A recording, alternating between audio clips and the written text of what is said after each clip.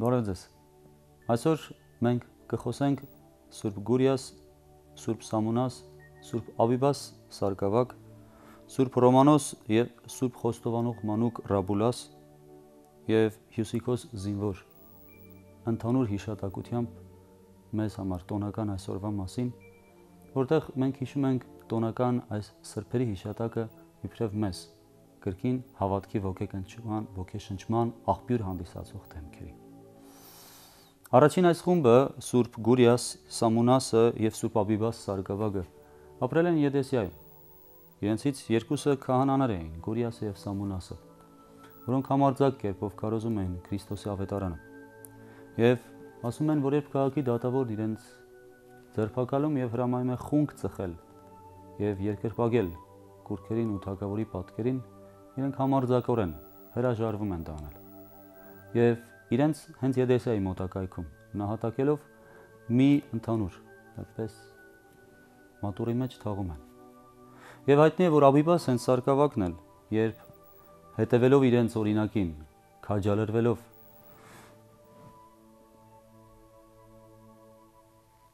քարոզում էր Աստծո ավետարանը, հաճախ տեսնում ենք, որ իրենց հարազատների սիրուն իրենք պատրաստ են լինում մեծ հողությունների դրանով ցույց տալով նաև Քրիստոսի նկատմամբ իրենց սերը։ Ասում են, որ իրեն երբ կայսերական հրամանով պիտի ձերբակալեին, չգտան, եւ սրա համար իր մորը եւ ազգականներին ձերբակալեցին։ Եվ ամարձակ կերպով ինքը գալիս եւ ներկանում է ասելով, որ ես եմ այն փնտրվող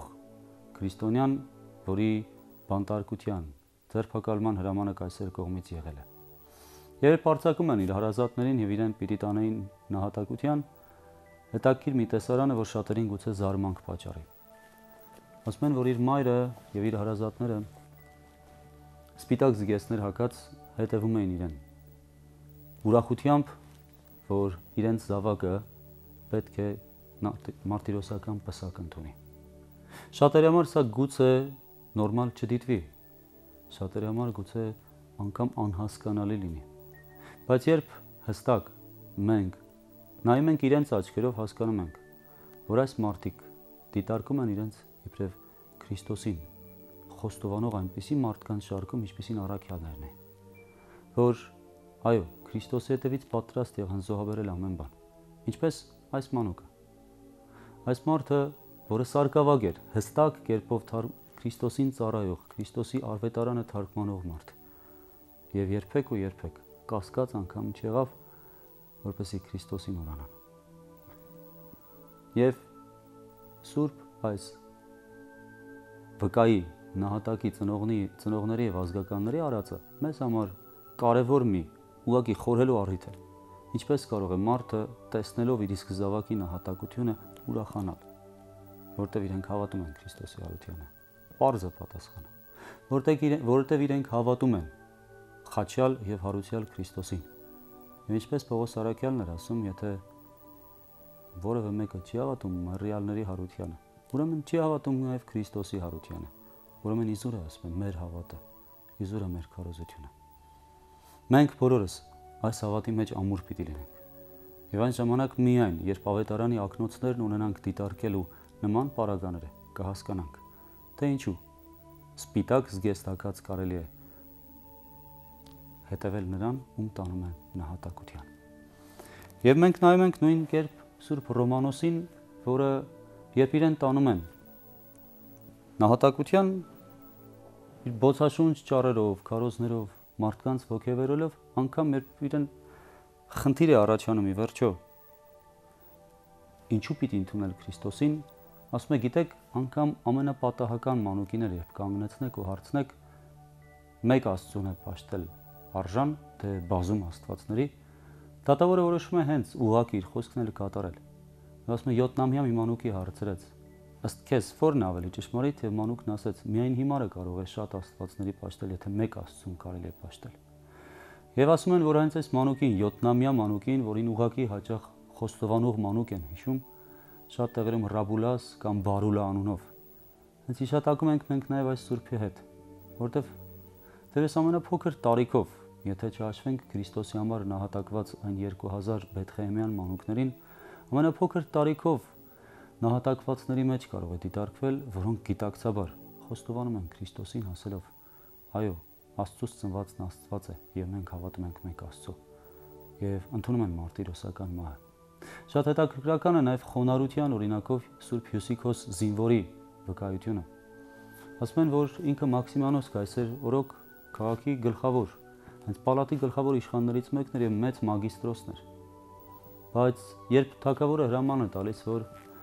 բոլոր նրանք, ովքեր քրիստոնյաներ են, թող իրենց ազնվական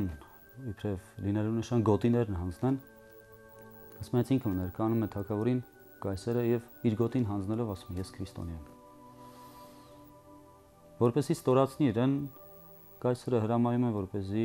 նաև զգեստներն ամբողջ այդ ազնվական մագիստրոսական հանի եւ པարս սպասուհու զգեստ ակնի հնարավորինս փորձելով իր պատվին դիպչել, որպեսի հեշտությամբ պարտության մատնի, վերադարձնի դեպի իր ենթակայության։ Եվ ասում են Քրիստոսի սիրու համար այս մեծ զորավարը սпасավորների հետ լուրը մունջ տանում էր այդ հալածանքը։ Եվ տեսնում են այլ հնար չկա, իրեն բերում եւ կանգնեցնում էր առաջ եւ ասում է. «Ով դու երբեմնի մագիստրոս, ինչպես ես կարողանում հանդուրժել այն, ինչ որ բոլորի համար փախարակելի եւ նվաստացնող է»։ Եվ այս քայլ զորականը հստակ կերպով վկայում է իր Քրիստոսին հավատարմությունը, որ այսպես թե անպես, ասում է, քո տվածները ժամանակավոր էին, այն պատիվները, որ դու տվեցիր գոտին, զգեսները, Այն ինչ որ տալիս է երկնքի եւ երկրի թակավորը հավիտենական են, ժամանակ չճանաչող։ Ես գերադասեցի անժամանակը։ Եվ ասում են, որ իրեն ձերքերից կապեցին եւ տեսնելով, որ այլ հնար չկա իրեն տանջելու, ջրախեղտ են անում։ Այս վկայի կյանքը մեզ համար հստակ նաեւ մի տեսակ նշանաբան կարող է լինել։ Երբեք չփոխել ժամանակավորը։ Անցողիկը անանցանելի երկնային գանձերի հետ։ Թող Աստված մեզ շնորհարի, որպեսզի կարողանանք երկնքի համար գանձեր դիզել, որպեսզի կարողանանք Աստծո առաջ կանգնել համարձակ կերպով եւ ասել. Տեր, ահա ես եւ մանուկներն իմ։ Ահա ես, որ քո բարի եւ հավատարիմ մշակը եղա։ Եվ լսել Աստծուց եկեք իմ օր հորտնյալներ պատասխանը։